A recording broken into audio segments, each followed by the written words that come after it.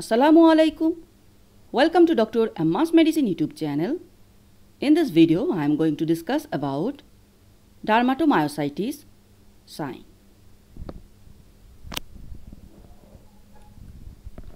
Gottron's papules, a pathognomic sign of dermatomyositis, are round, smooth, violaceous to red, flat-topped papules that occur over the knuckles along the side of the fingers.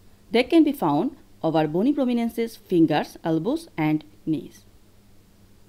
The heliotrope or lilac rash is a violaceous eruption on the upper eyelids and in rare cases on the lower eyelids, as well often with itching and swelling, most specific though uncommon. Gottron sign confluent macular violaceous erythema with or without edema in the same distribution of Gottron's papules.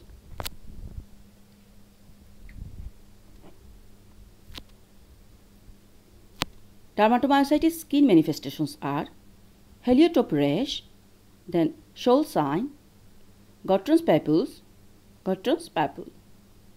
These are the four images. Gottron's papules with telangiectasia, Gottron's papule with prominent atrophy, porcelain white scarring and telangiectasia.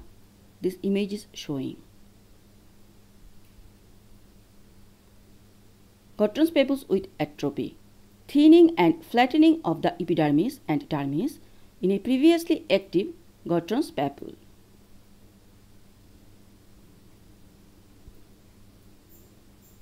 The image demonstrates central procyon with hypopigmentation over the proximal interphalangeal joints, indicative of damage with surrounding hyperpigmentation in a distribution of Gottron's papules. So this is the image showing dermatomyositis disease, Gottron's papules.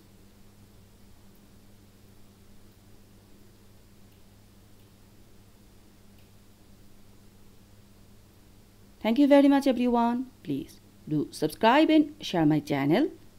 Thank you.